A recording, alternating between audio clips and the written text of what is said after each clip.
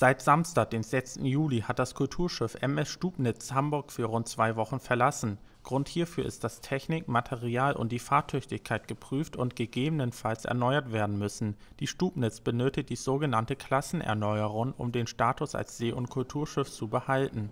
Dafür geht es alle fünf Jahre in die Werft. Da die Kosten der Sanierung hoch und ohne Förderung durch die Ehrenamtlichen kaum alleine zu stemmen sind, rufen die Betreiber zu Spenden auf.